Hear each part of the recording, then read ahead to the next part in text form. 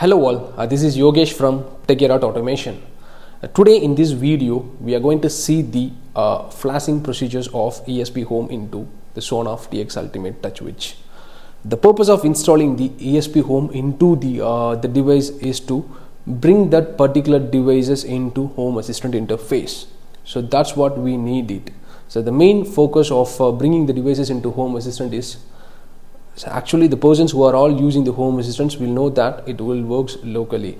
Once the device we are bringing into the home assistants we can enjoy the, the local facilities and advantages. So we are not depending upon the any clouds of the devices. So that is the reason why we are flashing the the Sonoff that's original firmware which comes from the uh, the company from Sonoff we are flashing it with the ESP home with a custom component for TX Ultimate Touch Switch so now I'm having the device flashed with the ESP home in my hand. So I'll show you the interface of the ESP home in Home Assistant. What all the entities will be visible in Home Assistant. Uh, let's see here. So first one is a NeoPixel light, then the night light, then as it is a three channel uh, model. So we'll be having a three channels that is L1, L2 and L3. So we are having a three different switches for controlling L1, L2 and L3. And then as it is as it supports a media player also uh, here we can use it for the text to speech commands in our automations. Then it is a small vibration for for that we are having a small switch.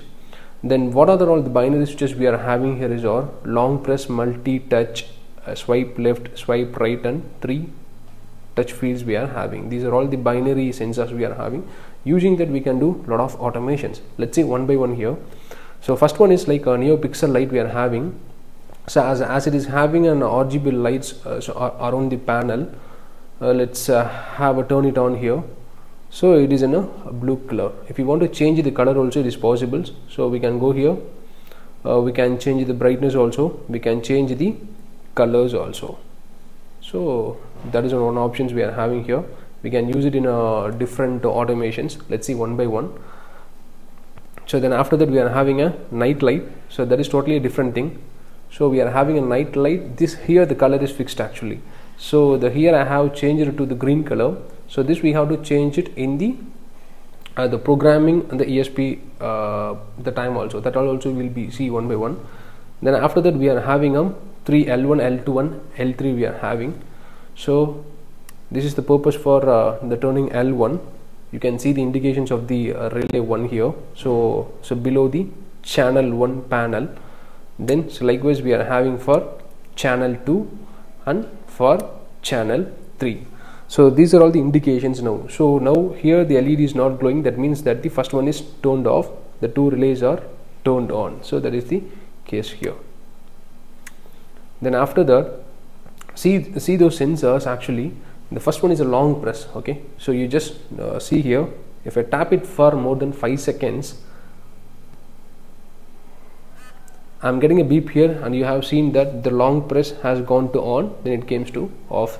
Using this we can create a lot of automations. The next one is a multi-touch is like a so you can take a two fingers or some things and if you're placing here you can see here uh, so the binary is, is getting activated. So likewise it is a, a swipe left. So that means from right to left or left to right. So swipe left and swipe right we are having. First we'll uh, check the swipe left see here it is getting activator. For next one is for swipe right then touch field. This is for first channel second channel and third channel. So using that we can do the automation scripts we can write based on these conditions. And also here we can able to change the colors. Now it is in night mode. I will turn off the night mode here. So the indications we are having here these colors can also be uh, changed based on our requirement. So all those things we have to do inside the coding part.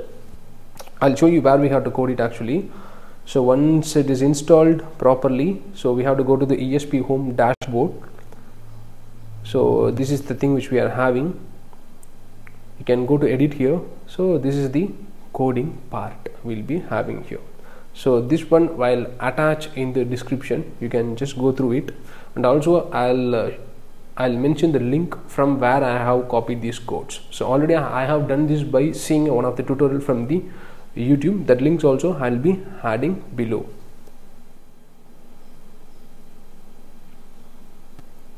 So whenever we are touching we can get an actions here. For example for turn on or uh, turn off things you just see here. So so now here below all the three lights are glowing that means that all the three channels are turned on. If you want to turn off here just tap it here once. You, you have seen here that the channel 1 is turned off. This is for channel 2 and this is for channel 3 so here we are here we are having an LED glow that can also be changed. The different uh, uh, options can be changed here. So now I have selected as a RGB like a rainbow effect I have selected for the touch effect. So if we are touching here so we here we'll be getting a rainbow effect. So this can also be configured. So let us see the installation procedures for ESP home in home assistant. For that first we have to go to add-on and select the add-ons to we have to search for ESP home from the add-ons to so select it and install the add-on in home assistant. So it will take a few minutes to get installed in home assistant. Once it is successfully installed there is no need for doing any configuration because ESP home does not require any initial configurations. Now it is installed. Turn on watchdog then auto update and show in sidebar. Then start the add-on so we can check the log to see if there is any error. If there is no error it is successfully installed. So we can select the open web UI to go into the ESP home. So now we need to create the new device to be get installed in in TX Ultimate of uh, Sonoff brand. So we have to give a project name. So here we are giving it as a the TX Ultimate. Give next. Then the board to be selected as ESP32 once you open to see the file so this is the files to be uploaded or installed inside the the Sonoff TX uh, touch switch so this is the initial file. Once this file is installed uh, so when after that we can upload whatever the changes we need we can do it here. The all the config all the configurations can be done here. After that it can be uh, installed through over the air update so this is the basic on the initial files to be installed inside the uh, ESP32 of uh, the uh, TX Ultimate touch switch.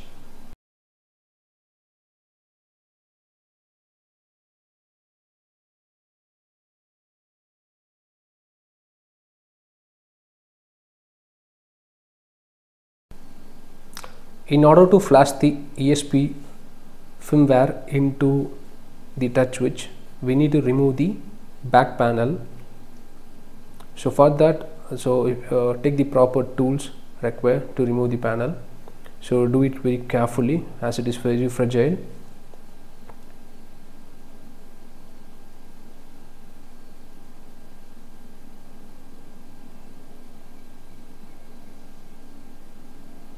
So once the, the back cover is removed so we'll be having a four sets of screws so first we have to remove the screws to remove the panel.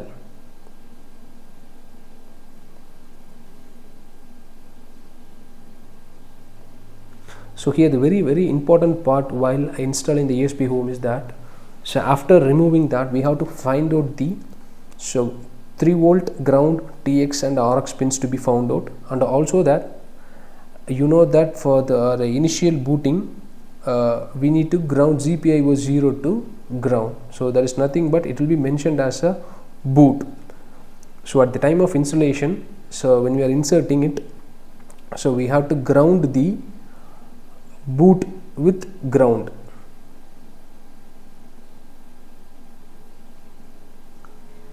So now all the four screws are removed. So we can remove the back cover so inside which we will be seeing the circuits.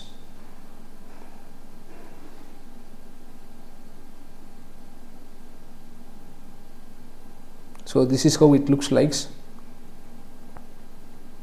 So we'll be having a, we have to find out the GPIO pins for uh, uploading TX, RX and 3 volt and ground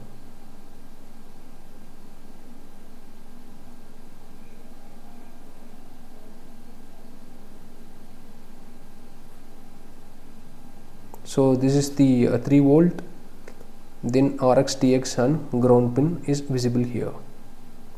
And also so here if you see very closely so here we can able to see the the boot.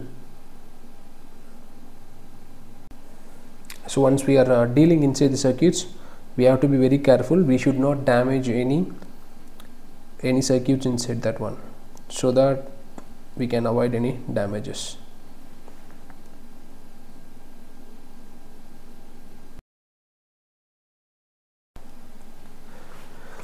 so now we are getting ready to install the firmware into the uh, touch panel. So I'm using a jumper cable RX to TX of the uh, converter TX to RX of the converter then 3 volt of the converter to the touch panel and the ground of the converter to the touch panel ground. And also I have taken an additional ground so that I'll be touching the boot that is the GPIO 0 to be grounded at the time of uh, to get the devices into the booting mode to the uh, programming mode sorry uh, so if GPIO 0 is ground at the initial of uh, thing it will come into the booting uh, it's uh, comes into the programming mode. So at the time of inserting alone we have to hold hold the the ground and boot. Once it is inserted we can leave the boot pin and remaining all the four pins should remains in a contact once it is inserted so we can go here. So we can go for install. So we'll have an option for wireless. For the initial time it is not possible to upload our program through wireless. So in the next option is plug into this computer for devices connected via USB to this computer. So now for our case we have connected the touch switch with the converter and we have connected to the computer. So this is the option we have to use. So here once you click here so we'll have an options to install. So here I'm having one problem that my home assistant is not running on HTTPS if it is running on HTTPS here we'll have an options to install. If you just click install the program will get installed into the ESP32 of the TX Ultimate Touch Switch. So as it is not running on HTTPS so we have to go for an another option so what we can do is here we are having an option of download project. So you just click here. So project will be downloaded. So after that we have to go to open ESP home web. So here we'll have an options to connect. So here we'll get a the bridge controller will be shown here. Select this one and give connect. So after that it will ask for the so web page, web page will open. So here we have to click install. So here we have to select the choose file. And the file we have to select is the the file which we have downloaded. So this is the file which I have downloaded. Select this file give open. Then click install so now it will get connected to the system and the will get installed and you will get a message of successfully installed. Once it is done we can install the software. So I somehow I managed to install. So now I'm having uh, uh, the files already done. I'm changing the files here. I have copied from the already previously I have edited file is copied here so only thing which you have to ensure is uh, from the other tutorials files we can copy. The main thing which we should take care of is the that API keys and all those additional details though over the air password should be taken care. So with the help of that only it will find out the devices in the network and it will upload the file. So I'll, I have I have given save.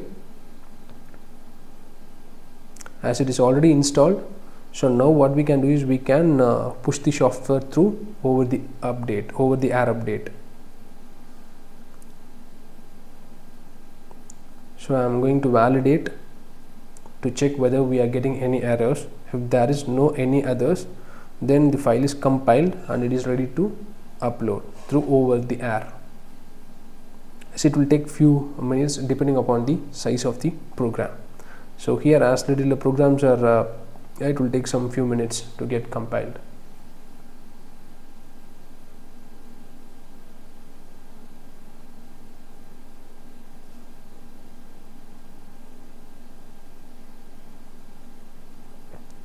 So compile compilation is done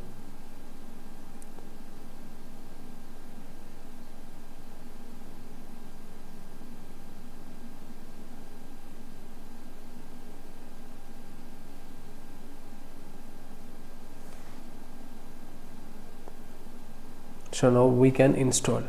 You click install. Wirelessly. And we can wait for the program to get installed inside the touch panel.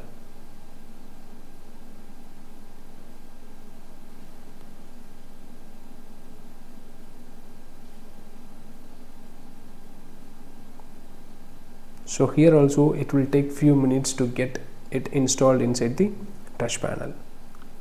So it will get compiled and all those necessary requirement actions will be taken. All the files will be compiled and it will get installed.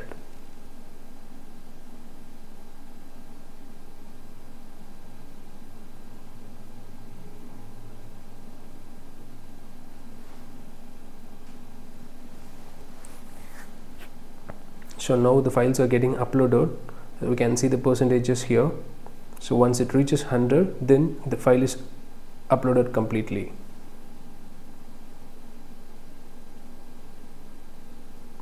You can see the log file here. Once it is uh, started uh, started functioning.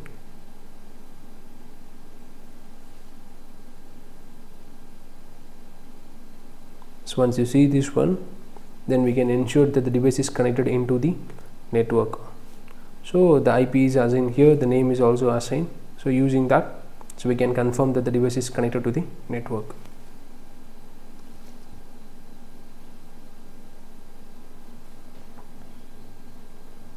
So now the de device is showing online. So now we want to add those devices into the integration part. Sometimes it will be discovered by itself automatically sometimes it won't. So need not to worry about it. We can go to add integration. We can search for ESP home. Then here we have to give the host name. Or either you can give the host name or you can give the IP address if it is known to you. If it is not able you can go to your router DHCP and you can find out the IP address. Then here we have to give the API key. The API key can be taken from here. You just select three dots and go to show API key.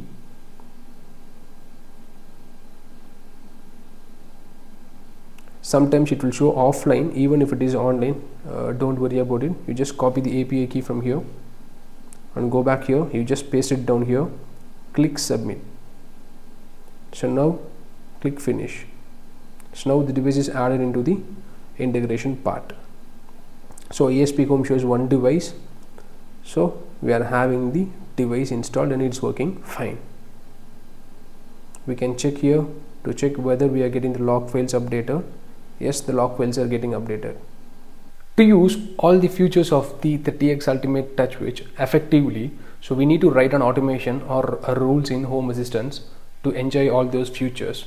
So for that in Home Assistant I'm using Node-RED for writing all my automations and sequences of operations. So now for testing all the features of the Sonoff for TX Ultimate's Touch Switch so we'll go one by one. The, so first option on the automation which I'm doing uh, or writing a program for it is uh, when we swipe from right to left we are writing a program. So like in my living hall I'm having the different sets of lights. Like uh, corner lights hanging light uh, focused light and main uh, ceiling light.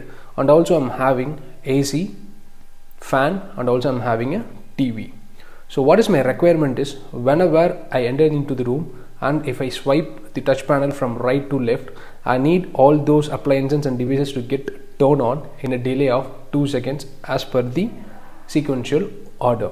So for that this is how it looks like an automation in a Node-RED so initially I'm putting a note for uh, so it, uh, uh, I'm having a small switch where whether the switch is on then it will uh, uh, it will all those actions will get activated.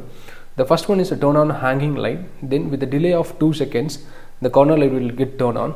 After that with this delay of 2 seconds the focused lights. Then the delay of 2 seconds ceiling light. Then at the delay of uh, 2 seconds fan. Then AC then the TV will get turned on. So here for AC and for the TV I'm using an IR blaster for uh, making it work so likewise if we swipe from left to right I want all the devices and appliances to get turned off in a sequential order. So for that this is how the uh, flow will looks like. So when the action is triggered the swipe left to right again it will check for the uh, dummy uh, input boolean button whether it is turned on or off. If it is on then again automatically that the fan will get turned off first. Then with a delay of 2 seconds ceiling light then followed by focus light corner light hanging light AC then TV will get turned off. So now I'll show you a small piece of video showing how when I swipe from right to left how those all the uh, lights and all the appliances are getting turned on. So likewise when I swipe from left to right so how all those devices are getting turned off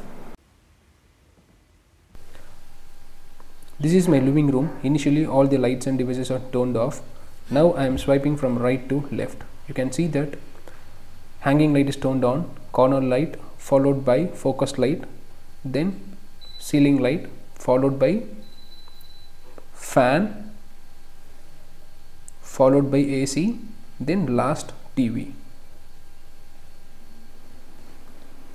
as I don't have uh, as my already in my wall I'm having other switches are installed. So for a demo so that I, I kept the devices on the table. I'm just showing the demo. So now we'll swipe from left to right to turn it off in a reverse manner. You can see here ceiling light is turned off followed by focus followed by corner light followed by fan and AC followed by hanging light then last TV will get turned off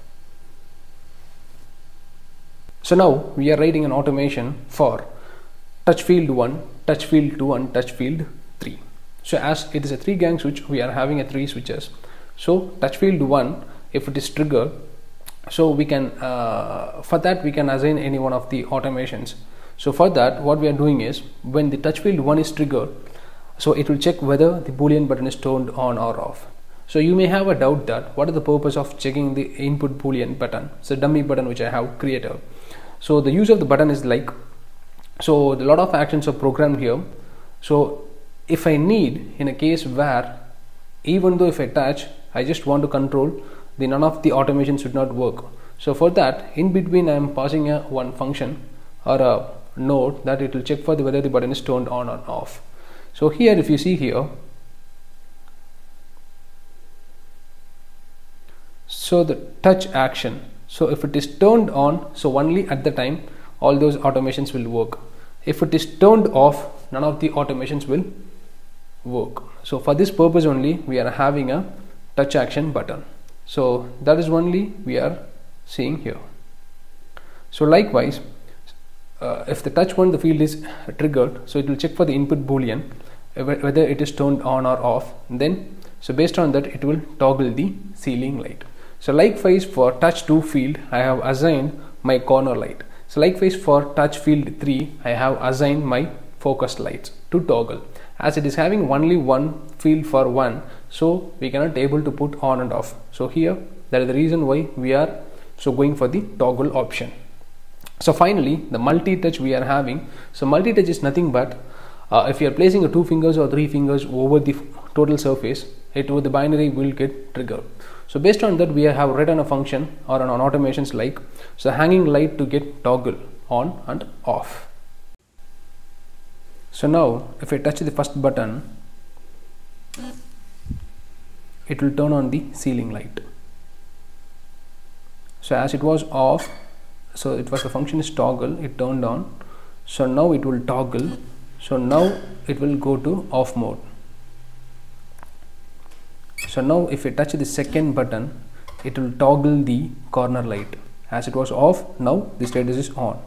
So once again if I touch it will toggle so that the light will go to off mode.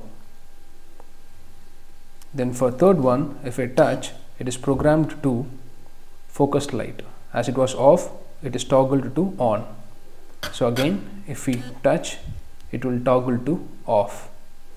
So now the hanging light is turned on which is programmed for multi-touch. So if you are placing the two fingers over the touch panel it will toggle the state. So it is now off. So once again if I toggle with a multiple uh, multi finger it will toggle the state to on. So finally we are going to write an automations for the long press action so for the long press actions what we have to do is we have to tap or touch the panel for 5 seconds so that the long press action will be triggered. So for here for an automations you can see the flow as like once the long press action is triggered again it will check for the the boolean button whether it is on or off touch action. If it is on then it will pass on to the next node that is a movie movie mode. It will toggle the movie mode. So you just imagine that the movie mode is turned off. So now I'm placing the finger for more than 5 seconds. So now the the movie mode is activated.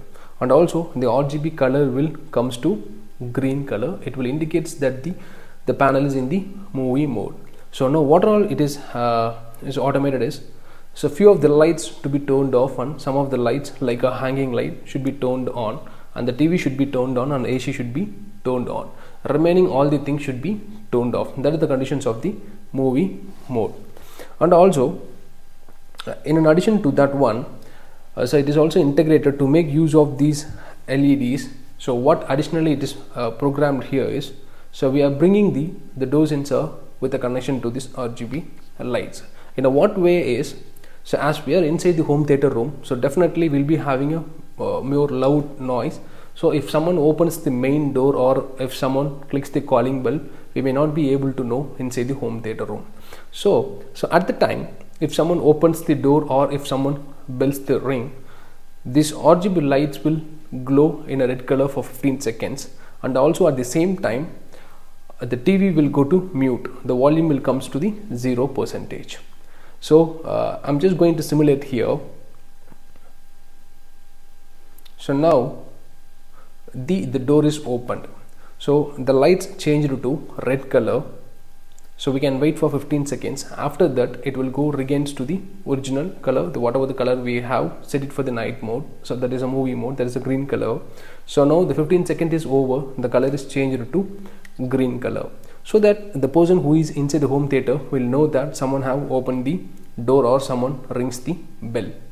So this is the cool features of uh, using this touch panel inside the home theater room.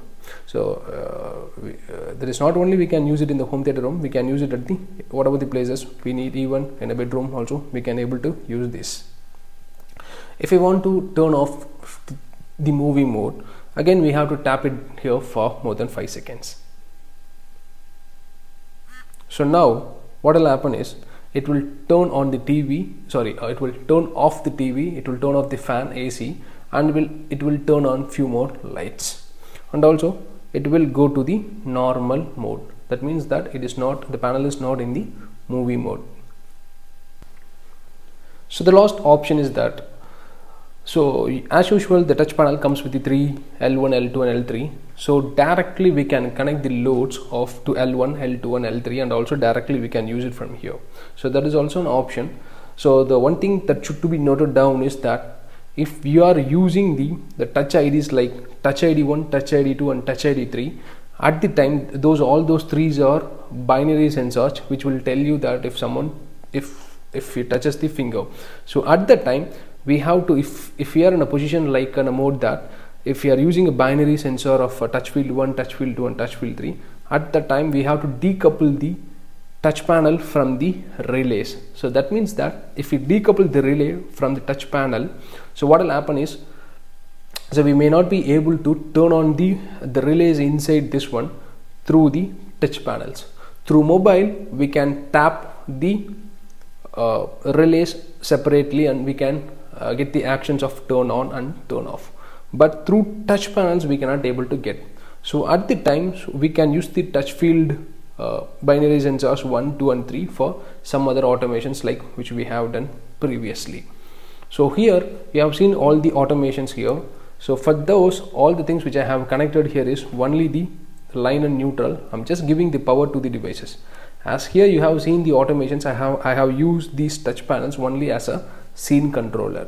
This can be used as a scene controller as well as if you are connecting the three loads here that can also be controlled so that's how the all the as of uh, here the most of the details are covered for these Sonoff TX Ultimate Touch Switches. Thank you for watching this video.